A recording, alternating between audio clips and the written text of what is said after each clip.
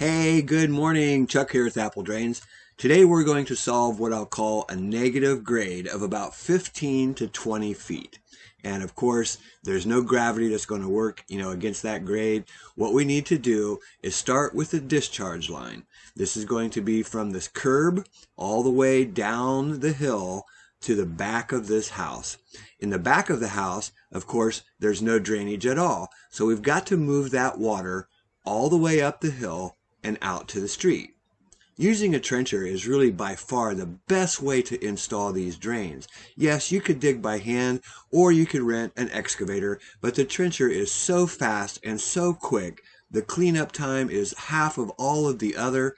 Trencher is the best way to go. You can actually see how much negative grade there is as you watch me disappear down the hill using the trencher. And I mean, we're really lifting this water. We're going to put our sump pump to the test, lifting it 15 to 20 feet and pushing it about 80 feet out to the street. If you haven't already subscribed to our channel, now is a really good time. Go ahead and click that bell and subscribe to the channel.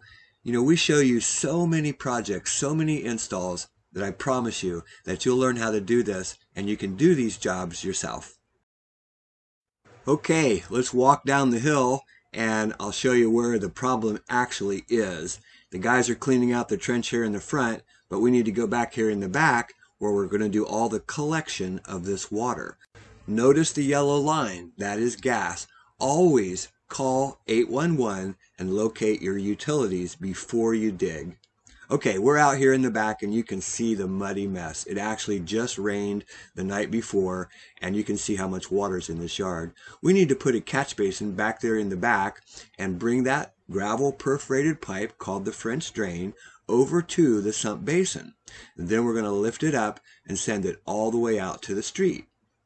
Digging the sump basin when it's muddy is just that. It is a muddy mess. But you can do this. And you just take your time. Be prepared to get some dirt on you because you're going to get dirty. But once we have the system installed, there will be no more flooding back here in the backyard. Sometimes we perforate the pit, and we are here because we're putting this basin right beside the foundation of a home that has been flooding for many, many years.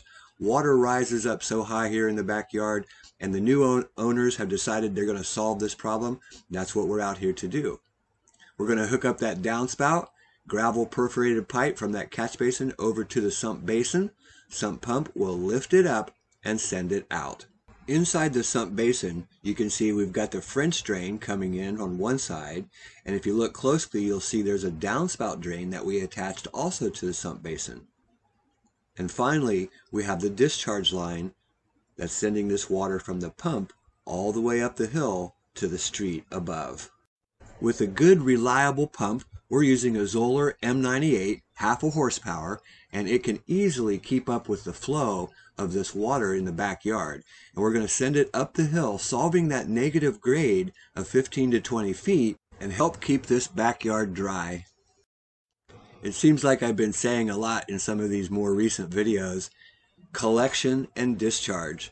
Collect the water and then you discharge the water. So we've collected all that water in the backyard and we put it into the sump basin. The sump pump is our discharge. We send that all the way out here to the street and you can see it. This is where it belongs. So remember why we're doing all of this. Number one reason was there was a flood in the backyard. But the second reason was that that footer, that foundation of the home there on the corner was having some serious flooding problems. By collecting the water, bringing it to the sump basin, and sending it out to the street, we solved two problems at the same time. Hey, this is Chuck with Apple Drains reminding you that if you believe you can do something, I guarantee you can do it. Have a great day.